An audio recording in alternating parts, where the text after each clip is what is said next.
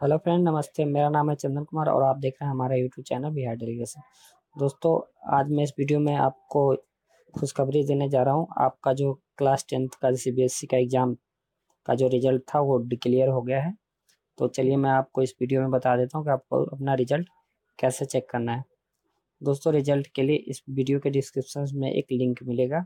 आप उस लिंक पर क्लिक करते के साथ ही आप हमारे वेबसाइट पर आ जाएँगे। उसके बाद आप हमारे इस वेबसाइट पे आने के बाद आपको सिंपल सा यहाँ पे आइएगा, नीचे देखिएगा। नीचे एक लिंक मिलेगा, click here to click here to C B S E class tenth result तो सिंपल सा आपको इस पर क्लिक कर देना है।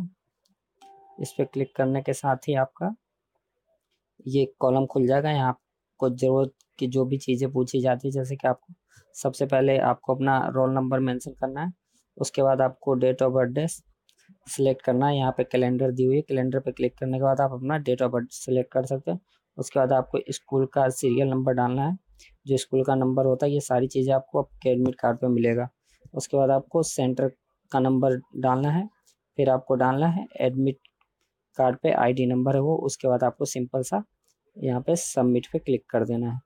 क्लिक करते के साथ ही आपका जो रिज़ल्ट है वो शो हो जाएगा। तो आज के लिए वीडियो में इतना ही।